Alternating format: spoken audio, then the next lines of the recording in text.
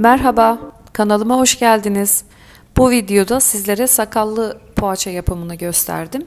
Orijinal bir poğaça, hem ekşi mayalı hem özel bir teknik kullanıyoruz yumuşak bir dokusu olması için. Bayılacağınız bir tarif olduğunu düşünüyorum. Tarifimizi yapmaya geceden başlıyoruz. Katı tatlı bir maya hazırlayacağız. Önce 30 gram ekşi mayanın üstüne 60 gram su koydum. Mayayı biraz açtım karıştırarak. 20 gram şeker ekliyorum. Ve 80 gram un ekliyorum. Güzelce karıştırıyorum. Elinizi dokundurmanıza gerek yok bu aşamada. Oda ısısında sabaha kadar bekleyecek. Neredeyse 3 katına kadar yükselecek. Tanzong bulamacı dediğimiz e, bir bulamaç hazırlıyoruz. Hamurun daha yumuşak olmasına, geç bayatlamasına neden oluyor. 100 gram kaynamış su kullandım. 30 gram un ekledim.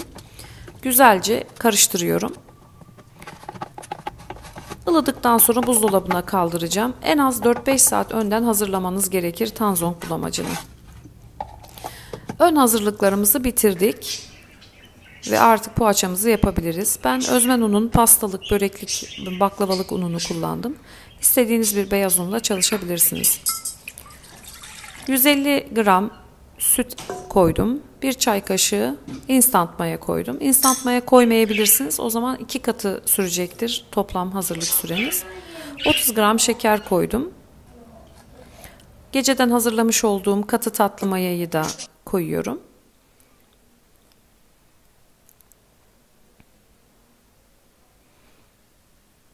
Bir yumurta.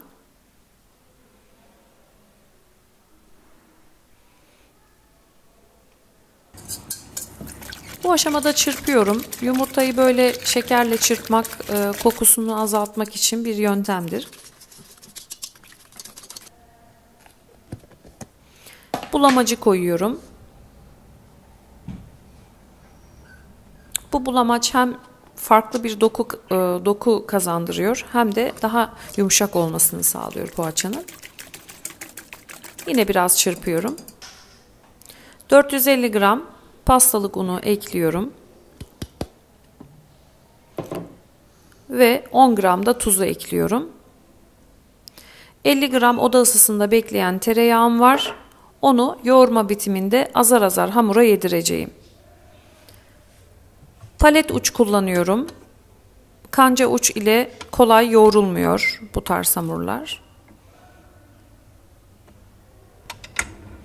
Önce yavaş devirde 1-2 dakika unlar toz, tozmasın diye karıştırıyorum.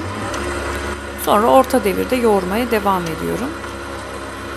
Yaklaşık 5-6 dakika yoğurduktan sonra böyle bir kontrol etmemiz lazım. Hamuru çekiştirerek e, mukavemet kazanmış mı, gluten açığa çıkmış mı kontrol etmemiz lazım. Her makine farklı sürede yoğurur. Onun için kontrol etmekte fayda var. Bakın çabuk yırtılan bir hamur daha yoğrulma istiyor demektir. Yoğurmaya devam ediyorum. Gluten pencere testi diyoruz buna. İster ekşi mayalı ister normal mayalı tüm hamurlarınızı yoğururken bu testi yapabilirsiniz. 4-5 dakika daha yoğurdum.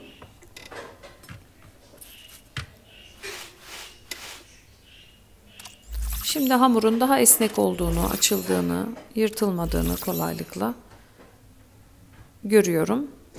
Artık hamura tereyağı eklemeye başlayabilirim. Tereyağını tek seferde değil, böyle parçalar halinde ekliyorum.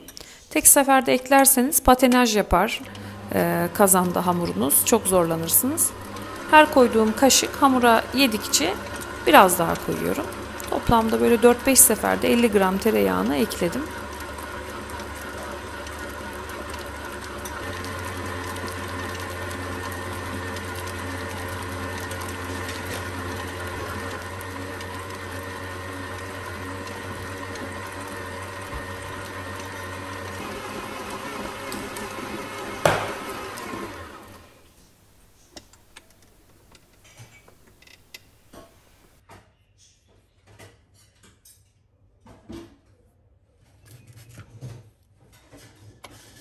Yine gluten tencere, pencere testi yapabiliriz.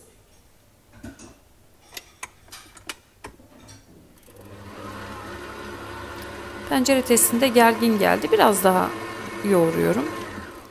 Toplamda 12-13 dakika yoğurmak yeterli oluyor. Ee, sizin makinenizin gücü zayıfsa ya da hamuru ısıtıyorsa bu süreler değişebilir.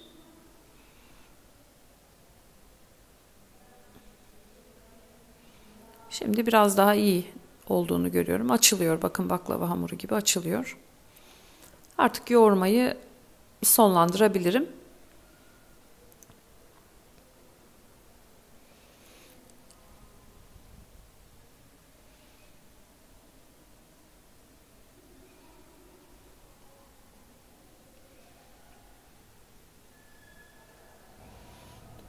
Hamurumun üzerine kapattım. Oda ısısında 2 saat dinlendirdim. Biraz mayalandı hamur. Şimdi artık porsiyonlama işlemine geçeceğim. Ben hamurun yarısından daha büyük poğaçalar yaptım. Yarısını da küçük küçük yaptım. Sakallı poğaça için küçük porsiyonlamak daha güzel oluyor aslında. Siz de istediğiniz gibi porsiyonlayabilirsiniz. İsterseniz tartarak e, hareket edebilirsiniz. Ben yaklaşık göz kararıyla hareket ediyorum. Hamurumdan e, hamuru ikiye böldüm. Böyle uzun rulolar yapıyorum. Sonra hamur kartıyla böleceğim. Sana? Küçük poğaçalar için her böldüğüm yeri ikiye böleceğim sonradan. Oldukça bereketli bir e, tarif. Yapacağınız büyüklüğe göre değişir ama 30-40 tane poğaça yapabilirsiniz bu ölçülerden. Bezeler yapıyorum ve bezeleri un serptiğim tezgaha yerleştiriyorum.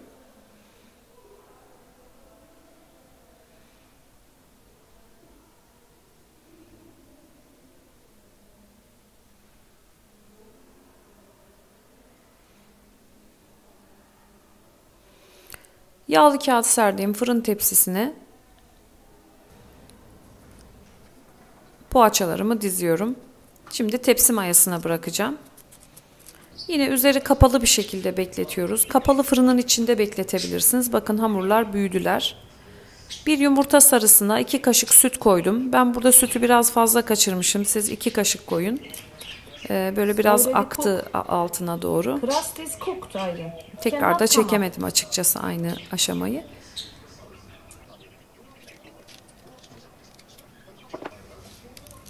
Üzerlerine de ben karışık tohumlar ekliyorum. Ay çekirdeği, kabak çekirdeği var, yulaf var, susam var. Ne istiyorsanız sadece çörek otu serpebilirsiniz. Hiçbir şey serpmeyebilirsiniz.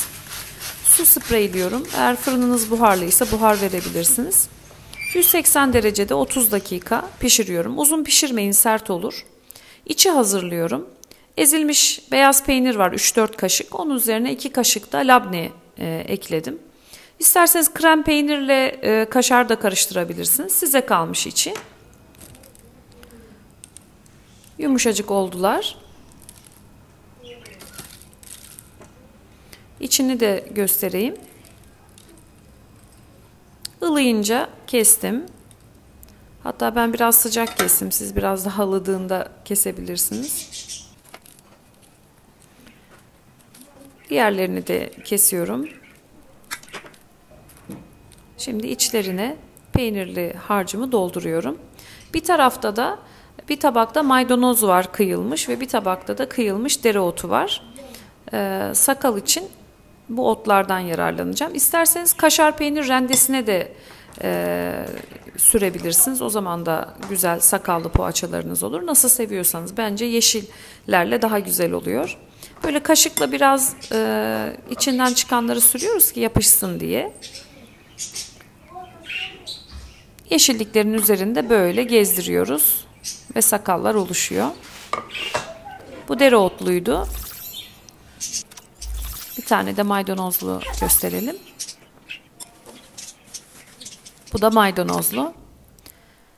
Videomu beğenmeyi, kanalıma abone olmayı unutmayın lütfen. Yapacak olanlara şimdiden afiyet olsun diyorum. İyi günler.